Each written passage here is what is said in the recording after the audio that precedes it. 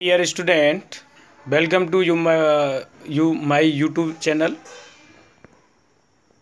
with geography twelfth geography 12th class.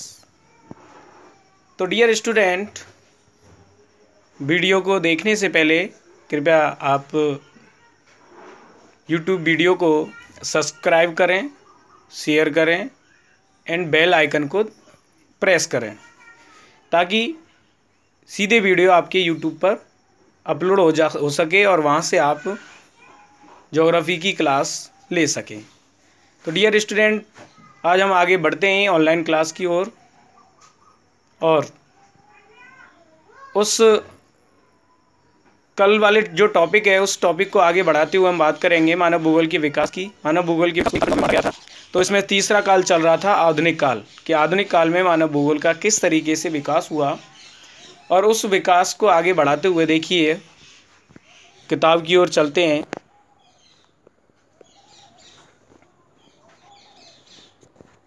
देखिए dear student Friedrich Ratzel यहाँ से शुरुआत करेंगे। यहाँ तक तो हमने पढ़ दिया था कि फ्रेडरिक रेडजेल जिन्हें आधुनिक मानव भूगोल का संस्थापक कहा जाता है। यानी मानव भूगोल का जो जनक है, उनको फ्रेडरिक रेडजेल हैं। इससे क्वेश्चन संबंधित आता है कि आधुनिक मानव भूगोल के जनक कौन है। उन्होंने बताया कि मानव समाजों व पृथ्वी के धरातल के पारस्परिक संबंधों के संश्लेषणात्मक अध्ययन पर ज़ोर दिया है। इस काल के प्रारंभिक दौर में मानव वातावरण संबंधों का, जो मानव और वातावरण है, उनके संबंधों का नियतिवादी, संभववादी व नवनियतिवादी विचारधाराओं के अनुसार अध्ययन किया गया। तो कहने का मतलब ये तीन विचारधाराएँ निकल के आईं। सबसे पहले नियतिवादी नियतिवादी को हम प्रकृतिवादी बोलते हैं। और ये प्रकृतिवाद का मतलब होता है, इसमें प्रकृति को श्रेष्ठ माना जाता है इस विचारधारा में, और ये कहा जाता है कि प्रकृति मानव को अपने अकॉर्डिंग डाल सकती है। मानव चाहे कितना भी वो विकास कर ले, लेकिन प्रकृति के अनुसार उसको रहना पड़ता है। इसके बाद में दूसरी विचारधारा आई संभववादी। संभववादी विचारधारा में ये कहा गया है कि प्रकृति मानव को संभावनाएँ प्रदान करती है और मानव उन संभावनाओं का उपयोग करता है और उपयोग करते हुए अपने विकास की राह पर आगे बढ़ता है। इसके बाद में तीसरी विचारधारा आई, नवनियतिवादी। और नवनियतिवादी विचारधारा के अनुसार ये कहा जाता है कि ये जो दोनों विचारधाराएँ उन दोनों के बीच का माध्यम है। अर्थात न तो मानव प्रकृति को गुलाम बना सकता है और ना प्रकृति मानव को गुलाम बना सकती है। कहने का मतलब मानव ने टेक्नोलॉजी से प्रकृति को अपने अकॉर्डिंग डाल लिया है। इसे नई विचारधारा के नाम से जाना जाता है। तो नियतिवाद में क्या होता है? प्रकृति और संभववाद में होता है मानव। दोनों को तो नियतिवाद में प्रकृति और संभववाद में मानव को अधिक प्रभावी माना जाता है। इक्कीसवीं सदी के आरंभ में। अब नियतिवाद के अनुसार दोनों के पारस्परिक संबंधों में सामंजस्य पर ज़ोर दिया गया। यह विचारधारा रुको व जाओ के नाम से भी जानी जाती है। इस विचारधारा को रुको व जाओ के नाम से जाना जाता है। इस नवनियतिवाद विचारधारा के प्रवर्तक थे ग्रिफिथ टेलर। जो कि ऑस्ट्रेलियाई भूगोलवेत्ता थे गिरफिट टेलर। 1930 के दशक में मानव भूगोल का विभाजन हो गया। और विभाजन क्या मतलब हो गया? मानव भूगोल के कई उपक्षेत्र हो गए, जिनमें सबसे पहले सांस्कृतिक भूगोल और आर्थिक भूगोल। सांस्कृतिक भूगोल में मानव की संस्कृति रहन सहन निवास, अधिवास आदि का अध्ययन किया जाता है। इसके बाद में आर्थिक भूगोल में मानव के जितने भी आर्थिक पहलू हैं, जिनसे मानव को धन प्राप्त होता है। उनका अध्ययन किया जाता है। विशेषीकरण की बढ़ती प्रवृत्ति के कारण मानव भूगोल की अनेक उपशाखाएँ सामने आईं, जैसे कि राजनीतिक भूगोल, जिसमें विभिन्न प्रकार के क्षेत्रों की सीमा का निर्धारण होता है, भौगोलिक सीमाओं का।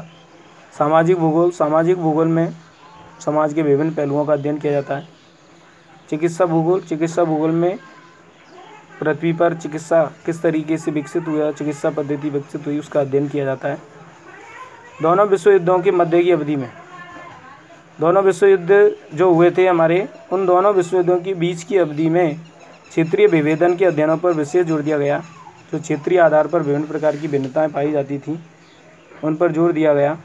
द्वितीय विश्व युद्ध के बाद दो दशकों में, यानी बीस वर्षों में मानव भूगोल की विषय वस्तु में स्थानिक संगठन उपागम द्वारा। स्थानिक संगठन उपागम का मतलब होता है, क्षेत्रीय आधारों पर संगठन बनाए गए, उनके द्वारा विभिन्न मानवीय क्रियाओं के प्रतिरूपों की पहचान करना रहा था।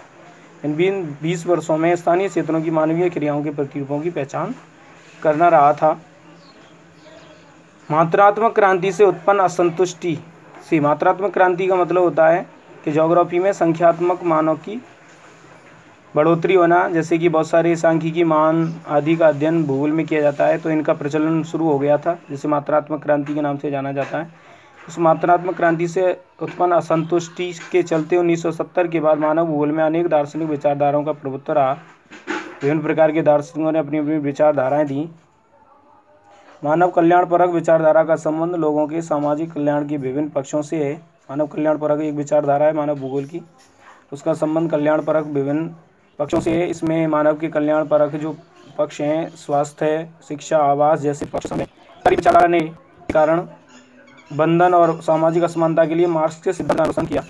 क्रांतिकारी का मतलब होता है जो अपनी मांगों की पूर्ति करने के लिए क्रांति करते हैं। समकालीन सामाजिक समस्याओं का संबंध पूंजीवाद के विकास को माना जाता है। जो प्राचीन काल के समकाल थे, वहाँ पर सामाजिक समस्याएँ जैसे गरीबी, निर्धनता बेरोजगारी आदि का जो संबंध है, वो पूंजीवाद के विकास को माना जाता है। आचरण परक विचारधारा के अनुसार, मनुष्य आर्थिक क्रियाएँ करते समय हमेशा आर्थिक लाभ पर ही विचार नहीं करता, बल्कि उसके अधिकांश निर्णय यथार्थ पर्यावरण की अपेक्षा मानसिक मानचित्र, अर्थात आचरण पर्यावरण पर आधारित होते हैं। कहने का मतलब यह है कि जो आचरण परक विचारधारा है, उसके अनुसार मानव जो है, अपनी आर्थिक क्रिया करते समय उसके लाभ पर ही अधिक ध्यान नहीं देता। बल्कि वह पर्यावरण की अपेक्षा मानसिक मानचित्र यानी आचरण पर्यावरण पर आधारित होते हैं। विचारों में बदलाव आंशिक रूप से विश्लेषण के मापदंडों में परिवर्तन के कारण आते हैं। इक्कीसवीं सदी में मानव भूगोल में सामान्य निकाय सिद्धांत तथा मानवीय दशाओं की व्याख्या करने वाले वैश्विक सिद्धांतों की उपयोगिता पर प्रश्न उठने लगे, जो इक्कीसवीं सदी से पहले जिन सिद्धांतों को मानव मानते थे भूगोलविद्ता मानते थे उन पर प्रश्न उठने लगे। अब अपने आप में प्रत्येक स्थानीय संदर्भ की समझ के महत्व पर ज़ोर दिया जा रहा है। वर्तमान में स्थानीय क्षेत्र की जितनी भी समझ है, उनके महत्व पर ज़ोर दिया जा रहा है। इस प्रकार मानव भूगोल निरंतर विकास के साथ गतिशील भी रहा है। समय के साथ इसका महत्व अध्ययन क्षेत्र की व्यापकता व अन्य विषयों के साथ संबंध बढ़ रहे हैं। आज भूगोल की महत्वपूर्ण इस शाखा का अध्ययन संपूर्ण विश्व में किया जा रहा है। तो डियर स्टूडेंट, ये पाठ हमारा समाप्त हो चुका है। ये मैं कुछ महत्वपूर्ण बिंदु हैं। इसके बाद में देखिए, हम अभ्यास प्रश्नों की तरफ़ चलते हैं। सबसे पहला क्वेश्चन है, आधुनिक मानव भूगोल के जन्मदाता कौन थे? इसका सही आंसर है फ्रेडरिक रेडजेल। दूसरा क्वेश्चन है, मानव भूगोल चंचल मानव और अस्थायी पृथ्वी के पारस्परिक परिवर्तनशील संबंधों का अध्ययन है। परिभाषा किसने दी? एलन सैंपल ने। राइट आंसर, एलन सैंपल, जो कि फ्रेडरिक रेडजेल की महोदय की शिष्या थी। तीसरा क्वेश्चन है, नवनियतिवाद की प्रवर्तक कौन है? तो इसका राइट आंसर है। ग्रिफिथ टेलर जो अभी पढ़ा था, ऑस्ट्रेलियाई भूगोलवेत्ता। चौथा है, निम्न में से कौन फ्रांसीसी भूगोलवेत्ता नहीं है? तो ब्लास, डिमांजिया ब्रूंस ये फ्रांसीसी भूगोलवेत्ता हैं कार्ल जो रेटर है, इसका पूरा नाम है रेटर का, कार्ल रेटर, जो कि फ्रांसीसी भूगोलवेत्ता नहीं थे। इसके बाद में मानव भूगोल के त्रिस संतुलन के घटकों के नाम बताइए, जो कि नोट्सों में ये क्वेश्चन दे रखा है, जिसमें कब, कहाँ और कैसे वाले जो है आंसर, वो त्रिसंतुलन के घटक कहलाते हैं। रेडजल की पुस्तक का नाम एंथ्रोपोजोग्राफी। संभववाद विचारधारा किसने दी? फ्रांसीसी भूगोलवेत्ता बिडाल डीला ब्लॉस। प्राचीन सभ्यताओं के प्रमुख केंद्रों के नाम बताइए तो इसमें भारत, चीन, मिस्र, यूनान, रोम आदि आते हैं। मानव भूगोल के पाँच उप क्षेत्रों के नाम बताइए। तो ये नवे क्वेश्चन से लेकर के सभी क्वेश्चन जो हैं, वो आपके नोट्सों में मिल जाएँगे, जो कि मैंने नोट्सों में फ़ोटो में आपको भेज दूँगा। और इसके बाद में ये हमारा पार्ट पहला कंप्लीट होता है। तो बच्चों, अगर इस पार्ट में कोई प्रॉब्लम हो या कोई समझने में दिक्कत आ रही हो तो मेरे पर्सनल नंबर पर व्हाट्सअप में कमेंट करके आप पूछ सकते हैं। और अंत में मैं यही कहूँगा, जिन बच्चों को डायरेक्ट लिंक चाहिए यूट्यूब की तो वो इस यूट्यूब वीडियो को सब्सक्राइब करें और बेल आइकन को प्रेस करें ताकि आपके यूट्यूब चैनल पर सीधे मेरी वीडियो पहुँच जाए और वहाँ से आप इसका लाभ ले सकें। बहुत बहुत धन्यवाद।